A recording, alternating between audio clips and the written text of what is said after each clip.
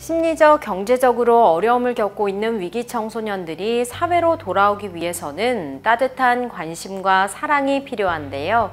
강서구가 위기 청소년들의 든든한 사회 안전망이 되어줄 강서 한울타리 사업을 시작했습니다.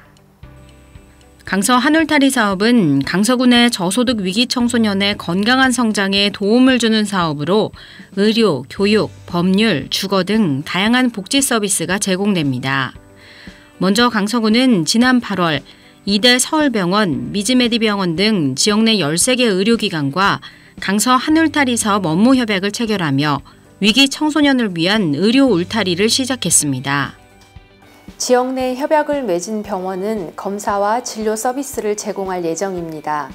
그동안 진료비 부담으로 병원을 찾지 못한 청소년들이 지역사회와 함께 건강하게 꿈과 희망을 키워갈 수 있도록 지원하겠습니다.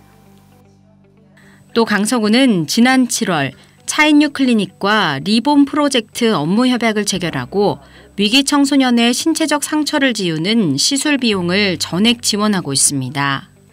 구는 또한 학업을 중단한 청소년들을 돕기 위한 교육 울타리도 펼칩니다.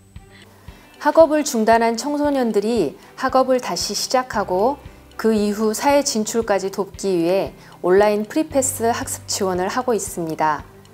검정고시 준비를 비롯해 진학이나 취업을 위해 학습이 필요한 청소년에게 온라인 강좌 학습비, 태블릿 PC, 인터넷 통신비를 지원하고 학습 진도를 따라가기 어려운 학생들을 위한 맞춤형 멘토링 교육도 진행하고 있습니다.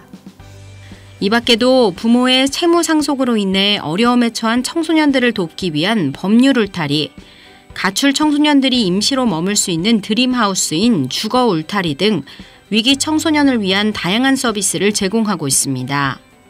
강서구는 앞으로도 민간 기업과 다양한 분야의 협약을 통해 지역 내 위기 청소년 지원을 위해 최선을 다한다는 방침입니다.